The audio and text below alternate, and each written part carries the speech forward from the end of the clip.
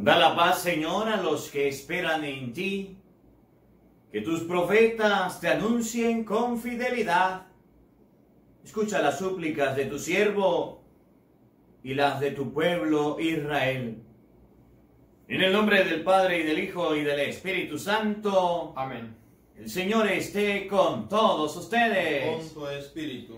Sean bienvenidos, queridos hermanos, a la Santa Misa de hoy. Hoy nos acompaña en la Santa Eucaristía el Padre Davis Rodríguez. Nos va a acompañar explicándonos la palabra de Dios. Le damos gracias a Dios en este día por la vida de todos ustedes, por la vida del Padre Davis, por la vida de cada una de las personas quienes nos siguen a través de las redes sociales. En este día queremos invitarte a que coloques en los comentarios tu intención para esta Santa Eucaristía. Ahí en los comentarios coloca tu intención. Vamos a escuchar las intenciones de este día. Por el eterno descanso de Adolfo Lemos, Teresa Contreras, José Neida Abach, Jesús Quintero, Ana Patiño. Por el- la salud de Peña. Por el fin de esta pandemia. Por todos los que sufren depresión del mundo entero. Por la pronta conversión de Diana Arón. Por la familia Reyes Morales por el eterno descanso de Lisbeth Roa, por la salud de Agustina Zambrano, Agustín Andrades y María Antonia Ramírez. Queridos hermanos, Jesucristo nos enseña en su palabra, el que esté libre de pecado arroje la primera piedra. Somos pecadores, por eso pidámosle con humildad perdón a Dios de nuestros pecados, de nuestras faltas, diciendo todos. Yo confieso ante Dios Todopoderoso y ante ustedes, hermanos, que he pecado mucho de pensamiento, palabra, obra y omisión. Por mi culpa, por mi culpa, por mi gran culpa. Por eso ruego a Santa María siempre Virgen, a los ángeles, a los santos y a ustedes, hermanos, que intercedan por mí ante Dios nuestro Señor. Dios Todopoderoso tenga misericordia de nosotros, perdone nuestros pecados y nos lleve a la vida eterna. Amén. Oremos.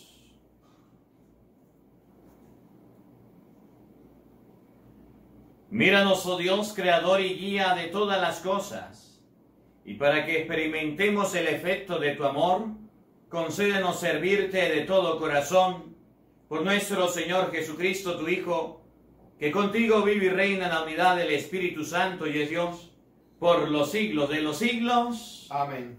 Escuchamos con mucha atención la palabra de Dios. De la primera carta del apóstol San Pablo a los Corintios. Hermanos, con respecto a las reuniones de ustedes, ciertamente no, puede, no puedo alabarlas, porque les hacen más daño que provecho.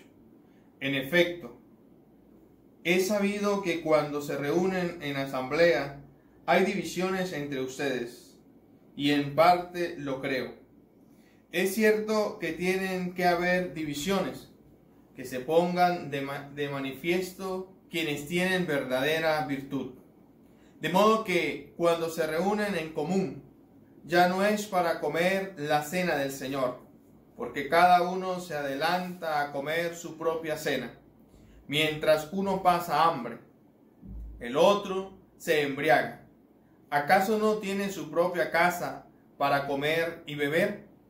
¿O es que desprecian a la asamblea de Dios, quieren avergonzar a los que son pobres? ¿Qué quieren que les diga? ¿Que los alabe? En esto no los alabo, porque yo recibí del Señor lo mismo que les he transmitido, que el Señor Jesús, la noche en que iba a ser entregado, tomó pan en sus manos, y pronunciando la acción de gracias, lo partió y dijo, esto es mi cuerpo, que se entrega por ustedes. Hagan esto en memoria mía. Lo mismo hizo con el cáliz, después de cenar, diciendo, Este cáliz es la nueva alianza que se sella con mi sangre. Hagan esto en memoria mía, siempre que beban de él. Por eso cada vez que ustedes comen de este pan y beban de este cáliz, proclaman la muerte del Señor hasta que vuelva. Palabra del Dios. Te alabamos, Señor. Al salmo respondemos, aquí estoy, Señor, para hacer tu voluntad. Aquí estoy, Señor, para hacer tu voluntad. Sacrificios y ofrendas no quisiste, abriste en cambio mis oídos a tu voz. No exigiste holocaustos por culpa, así que dije, aquí estoy. Aquí estoy, Señor, para hacer tu voluntad. En tus libros se me ordena hacer tu voluntad. Esto es, Señor, lo que deseo, tu ley en medio de mi corazón. Aquí estoy, Señor, para hacer tu voluntad.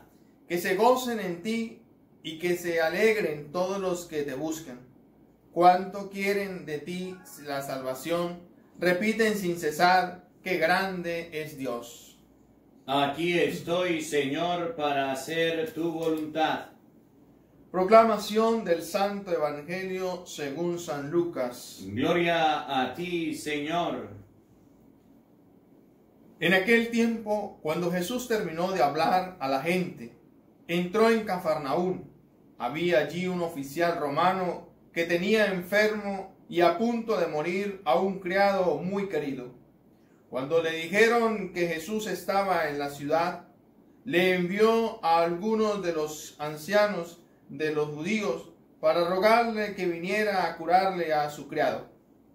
Ellos, al acercarse a Jesús, le rogaban encarecidamente diciendo, merece que le concedas ese favor, pues quiere a nuestro pueblo y hasta nos ha construido sinagogas.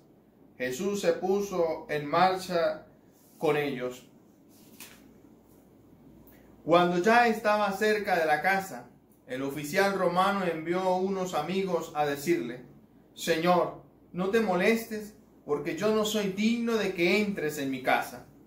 Por eso ni siquiera me atreví a ir personalmente a verte.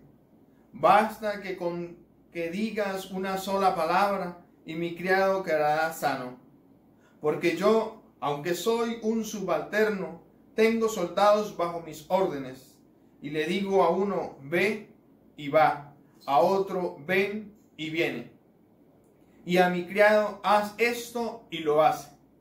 Al oír esto, Jesús quedó lleno de admiración, y volviéndose hacia la gente que lo seguía, dijo, yo les aseguro que ni en Israel he hallado una fe tan grande los enviados regresaron a la casa y encontraron al criado perfectamente sano. Palabra del Señor. Gloria a ti, Señor Jesús. Sean todos bienvenidos a esta Eucaristía. Hoy 14, lunes 14 de septiembre. Agradezco la oportunidad que me da el Padre Marcos Galvis en celebrar esta Eucaristía junto con él y también en la presentación o, salir en medio eh, de comunicaciones. Aprovecho esta oportunidad para hablarle de esta palabra que hoy viene a hablarnos acerca de la fe. Y es una fe que nace de lo más íntimo del hombre, del ser, en expresarse esos sentimientos que es el conocer el poder de Dios. Esa fe que manifiesta este cinturón romano es una atracción que lo hace hacia Jesucristo. Eh, en definitiva, pone su esperanza en Dios, en el Señor. Fíjate que empieza el Evangelio diciendo, cuando Jesús iba camino a Cafarnaún, había allí un oficial romano que tenía un centurón, un enfermo, un criado. Además de eso, lo quería mucho. Pero llama la atención cuando escucha de que Jesús va pasando por allí y lo manda a llamar de inmediato. En este, en este episodio, nosotros conocemos sin duda alguna ese seguimiento de Dios, o mejor dicho, esa experiencia divina, maravillosa, que es el amor de Dios. Llama a Jesús para que venga a curar a mi criado. Y mientras iba Jesús, el oficial envía nuevamente a otros amigos a decirles que no soy digno de que entres en mi casa, que con una palabra suya bastará para sanarle. Qué importante es cuando el hombre se llena de fe, o mejor dicho, cuando posee ese don de la fe, que no importa quién venga, no importa si llega, lo que importa es creer. Como Jesús mismo le dice a Marta, ¿tú crees esto? Y ella le dice, sí Señor, yo creo que tú eres el Mesías. Y el mismo Jesús expresa, basta de que tengas fe. O sea, este mensaje va más sobre todo a aquellos que, que no pueden ir a la iglesia, que no pueden acercarse a la Eucaristía físicamente, aquellos que de repente dicen, bueno, ya se acabaron las misas, entonces no se sienta sola, no se sienta eh, desamparados, ore con insistencia. Los que oran con insistencia, perseverancia y sobre todo con fe, le aseguro que el Señor escuchará nuestras súplicas, nuestros ruegos. ¿Cuántas personas en el mundo entero se sienten como este oficial, desesperados para que se sane su hijo, su hija, su nieto, su esposa, su esposo? ¿Cuántos quieren la sanación tanto física como espiritual en nuestras vidas? ¿Cuántas veces nosotros desesperados salimos buscando ayuda? Pero una cosa sí estamos seguros, de que a pesar de no confiar en el Señor, el Señor siempre está dispuesto. Y está dispuesto, como lo presenta en el, episodio del Evangelio de Lucas, de inmediatamente fue y lo expresa diciendo, mientras iba llegando, le salen diciendo, es que no somos dignos.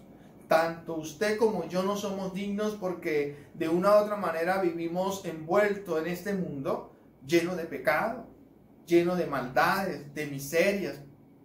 Y es allí donde el Señor quiere entrar, porque Él dice, yo no he venido a buscar a los sanos, yo no he venido a buscar los justos, yo he venido a buscar a los pecadores, pero también a los enfermos. Y eso es lo que el Señor pues quiere que nosotros le demos esa plena confianza. Y manifestando esa confianza como lo hace el cinturón romano, que sale de su casa, sale de su aposento, sale de su vida buscando ayuda. ¿A dónde, a dónde buscan ayuda? Definitivamente el episodio dice, donde Jesús. Y allí es donde nosotros pues tenemos que ir a buscar. ¿Cuál es la solución de todos nuestros problemas? Dios. Sin Él no podemos hacer nada. Por tanto, en este Evangelio o este mensaje que el Señor pues nos quiere transmitir es confiar en el Señor. Basta de que salga de, sus cuatro paredes, basta de que salga de su mente negativa, sino tenga una mente positiva y confíe en el Señor. Ahí donde estás, en medio de una cama postrado, en medio de un hospital, de repente, eh, donde estés, el Señor te está invitando a confiar más plenamente en su amor, en su misericordia, en su perdón. Y verás que encontrarás el alivio, el descanso, como dice Jesús, mi, mi yugo es suave, mi carga es ligera, pero los que vienen a mí encontrarán descanso. Pidamos pues, queridos hermanos, a Dios Todopoderoso, que nos muestre ese camino, ese camino de confianza, ese camino de amor, ese camino de, de, búsqueda, sobre todo en el amor perfecto que es Jesucristo. Allí encontraremos pues la sanación plena. Como lo hace también el mismo centurión que le dice, reconociendo su pecado, dice, no soy digno de que entres en mi casa, porque soy pecador porque soy pecador. Y una vez reconociendo su pecado, porque es el pecado que lo, enferma, es el pecado que lo destruye, es el pecado que los tiene pues apagado, cuando nosotros reconocemos que Jesús es el Señor, y que no somos dignos de entrar a su casa, que con una sola palabra tuya bastará para sanarnos, entonces el Señor sanará nuestras heridas, nuestro corazón, nuestra mente. Y sobre todo, ya al final del Evangelio dice, y encontraron al criado perfectamente. Pidamos al Señor que cure todas nuestras heridas. Gloria al Padre y al Hijo y al Espíritu Santo. Muere en el principio, ahora y siempre, por los siglos de los siglos. Amén. Amén. Queridos hermanos, vamos en este día a elevar nuestras oraciones a Dios. Vamos a pedirle al Señor por nuestras necesidades, por nuestras preocupaciones, lo que tenemos y somos. Ante todo, pidámosle a Dios por la Iglesia Universal, por el Papa, los obispos y los sacerdotes, para que fieles al Evangelio prediquemos su palabra, roguemos al Señor. Te lo pedimos, Señor. Pidámosle a Dios Todopoderoso en este día por la paz en el mundo entero, por la paz en nuestro hogar, por la paz en nuestra familia, para que seamos discípulos de Cristo, que llevemos la paz, roguemos al Señor. Te lo pedimos, Señor. Por los gobernantes del mundo entero, de manera especial, aquellos países donde eligen sus gobernantes, para que Dios Todopoderoso coloque en sus corazones el deseo de ayudar, roguemos al Señor. Te lo pedimos, Señor. Pidámosle a Dios por cada uno de nosotros, queridos hermanos, para que teniendo fe como el centurión, ustedes y yo confiemos en Dios, para que tenemos una fe como el centurión en la palabra de Cristo, podamos leer las sagradas escrituras y creer en su palabra, roguemos al Señor. Te lo pedimos, Señor. Quiero pedirle a Dios por cada uno de ustedes quienes nos siguen a través de las redes sociales, por sus necesidades, por sus preocupaciones, para que Dios Todopoderoso les bendiga en este día, roguemos al Señor. Te lo pedimos, Señor. Escucha, Padre de bondad, nuestras súplicas y oraciones, aquellas que brotan de lo profundo del corazón y tú conoces. Por Jesucristo nuestro Señor, Amén. este momento del ofertorio, donde el pueblo junto al sacerdote coloca sus necesidades, sus intenciones a Dios. Vamos a colocar en los comentarios cada una de nuestras necesidades, intenciones, nuestra ofrenda a Dios Todopoderoso. De manera especial coloquemos ante el altar de Dios nuestra falta de fe. En muchas ocasiones dejamos de creer. Hoy el centurión nos muestra que hay que confiar en la palabra de Dios. Bendito sea Señor Dios del universo por este pan fruto de la tierra y del trabajo del hombre que recibimos de tus manos generosas. Y ahora te lo presentamos, Él será para nosotros pan de vida. Decimos todos, bendito seas por siempre, Señor. Bendito seas, Señor, Dios del universo, por este vino, fruto de la vid y del trabajo del hombre que recibimos de tus manos generosas.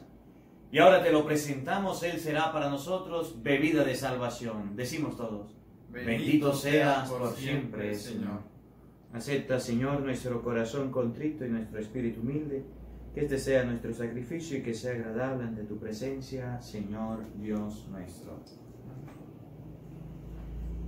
Oren, hermanos, para que este sacrificio mío y de ustedes sea agradable a Dios Padre Todopoderoso. Todos, el Señor, recibe de tus manos este sacrificio para alabanza y gloria de su nombre para nuestro bien y de toda su santa iglesia. Oremos. Sé propicio, Señor, a nuestras súplicas y recibe con bondad las ofrendas de tus siervos, para que la oblación de cada uno en honor de tu nombre sirva para la salvación de todos. Por Jesucristo nuestro Señor. Amén. El Señor esté con todos ustedes. Y con tu espíritu. Levantemos el corazón. Lo tenemos levantado hacia el Señor. Demos gracias al Señor nuestro Dios. Es justo y necesario. En verdad es justo y necesario nuestro deber y salvación. Darte gracias, Padre Santo, siempre y en todo lugar, por Jesucristo, tu Hijo amado. Por el que es tu palabra hiciste todas las cosas Tú nos lo enviaste para que, hecho hombre por obra del Espíritu Santo y nacido de María la Virgen, fuera nuestro Salvador y Redentor. Él, en cumplimiento de tu voluntad para destruir la muerte y manifestar la resurrección, extendió sus brazos en la cruz y así adquirió para ti un pueblo santo. Por eso con los ángeles y los santos proclamamos tu gloria diciendo todos, Santo, Santo, Santo es el Señor, Dios del universo, llenos están el cielo y la tierra de tu gloria, Osana en el cielo, bendito el que viene en nombre del Señor, Osana en el cielo. Santo eres en verdad, Señor, fuente de toda santidad. Por eso te pedimos que santifiques estos dones con la efusión de tu Espíritu, de manera que se conviertan para nosotros en el cuerpo y la sangre de Jesucristo nuestro Señor, el cual, cuando iba a ser entregado a su pasión, voluntariamente aceptada, tomó pan, dándote gracias, lo partió y lo dio a sus discípulos, diciendo, Tomen y coman todos de él, porque esto es mi cuerpo que será entregado por ustedes.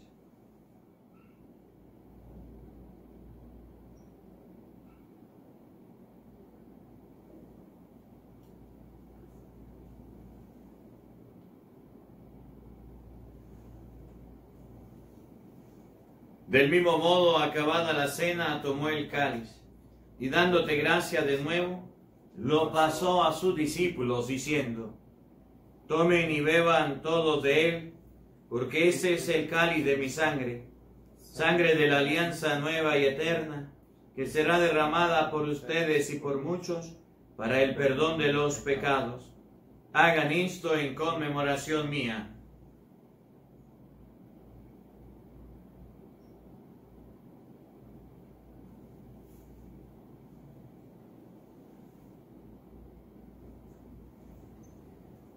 Hermanos, ese es el sacramento de nuestra fe. Anunciamos tu muerte y proclamamos tu resurrección. Ven, Señor Jesús. Así pues, Padre, al celebrar ahora el memorial de la muerte y resurrección de tu Hijo, te ofrecemos el pan de vida y el cáliz de salvación, y te damos gracias porque nos hace dignos de servirte en tu presencia. Te pedimos humildemente que el Espíritu Santo Congrega en la unidad a cuantos participamos del cuerpo y la sangre de Cristo. Acuérdate, Señor, de tu iglesia extendida por toda la tierra, y con el Papa Francisco, con nuestro obispo Jesús Alfonso Guerrero, y todos los pastores que cuidan de tu pueblo, lleva a su perfección por la caridad. Recuerda también a nuestros hermanos que se durmieron en la esperanza de la resurrección, y de todos los que han muerto en tu misericordia, admítalos a contemplar la luz de tu rostro. Ten misericordia de todos nosotros, y así con María la Virgen, Madre de Dios, San José, su esposo, los apóstoles, y cuanto vivieran en tu amistad a través de los tiempos, merezcamos por tu Hijo Jesucristo compartir la vida eterna y cantar tus alabanzas.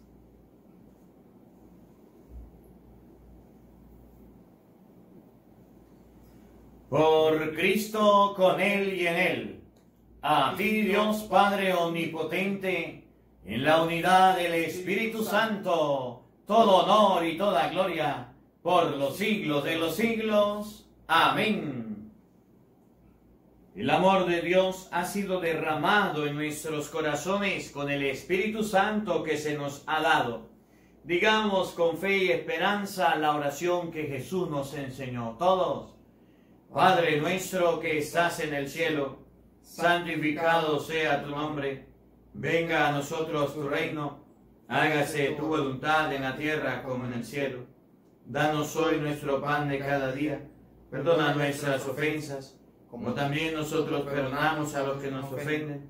No nos dejes caer en tentación y líbranos del mal. Líbranos de todos los males, Señor, y concédenos la paz en nuestros días para que ayudados por tu misericordia vivamos siempre libres de pecado y protegidos de toda perturbación, mientras esperamos la gloriosa venida de nuestro Salvador Jesucristo. Tuyo es el reino, tuyo es el poder y la gloria por siempre, Señor. Señor Jesucristo, que dijiste a tus apóstoles, la paz se les dejo, mi paz se les doy. No tengas en cuenta nuestros pecados, mira a la fe de tu iglesia y conforme a tu palabra concédele la paz y la unidad tú que vives y reinas por los siglos de los siglos. Amén. La paz del Señor esté con todos ustedes. Con tu espíritu. Como hermanos compartan un saludo de paz desde Venezuela, nuestro cariño, nuestro abrazo de paz para todos. Los queremos mucho. Con tu espíritu.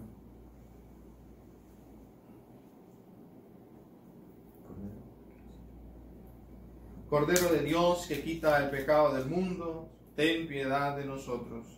Cordero de Dios que quitas el pecado del mundo, ten piedad de nosotros. Cordero de Dios que quitas el pecado del mundo, danos la paz.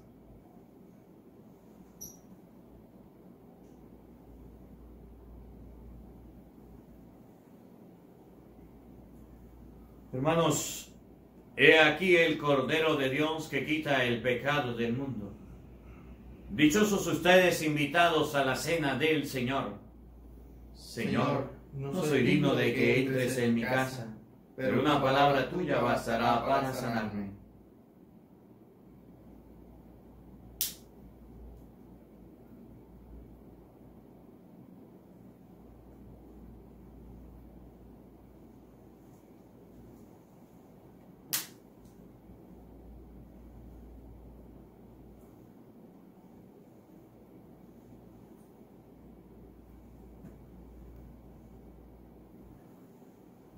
Hermanos, vamos a darle gracias a Dios por esta Eucaristía. Vamos a darle gracias a Dios por este momento que nos regala. Ahí donde estás, desde tu casa, te invito a darle gracias a Dios por el don de la fe. El centurión creyó en la palabra de Dios. Una palabra tuya bastará para sanar. Démosle gracias a Dios por su palabra que la ha dejado por la palabra que nos alimenta, por esta Eucaristía. Démosle gracias a Dios por sus sacerdotes que nos acompañan. Démosle gracias a Dios en este día por la vida, por la salud, por la familia, por todos los beneficios que Él nos ha permitido, nos ha regalado. Por eso, digamos todos juntos, gracias Señor, gracias.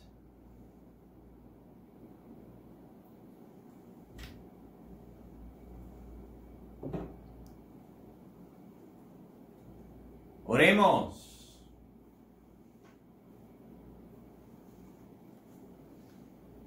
Que la acción de este don celestial, Señor, penetre en nuestro cuerpo y nuestro espíritu, para que sea su fuerza y no nuestro sentimiento lo que llegue a prevalecer en nosotros. Por Jesucristo nuestro Señor. Amén. Agradecemos la presencia del Padre David que nos acompañó en la misa del día de ayer, en la celebración del día de hoy. Agradezco su presencia. Gracias por acompañarnos, sacerdote. Estudiamos juntos. Estudiamos con el Padre Ángel Umaña eh, del Santo del Día. Estudiamos los tres, nos formamos en el seminario este, durante el periodo de formación. Agradezco su presencia. El párroco vecino, la parroquia está como a 45 minutos más o menos de aquí a donde él trabaja. Y también nos, eh, el padre Cristóbal fue compañero de, de, curso este, en el seminario. Agradezco su presencia, agradezco la presencia de cada uno de ustedes. El día de mañana estaremos compartiendo la Santa Misa a la misma hora en el mismo canal. El Señor esté con todos ustedes. Y con tu espíritu. Y la bendición de Dios Todopoderoso, Padre, Hijo y Espíritu Santo, descienda sobre ustedes y les acompañe siempre. Amén. Que la alegría del Señor sea nuestra fuerza. Podemos continuar en paz. Demos gracias al Señor. A nuestra Madre, a la Virgen María, vamos a decirle todos, Dios te salve María, llena eres de gracia, el Señor está contigo, bendita tú eres entre todas las mujeres, y bendito es el fruto de tu vientre Jesús. Santa María, Madre de Dios, ruega por nosotros pecadores, ahora y en la hora de nuestra muerte. Amén. Un feliz día para todos. Los queremos mucho.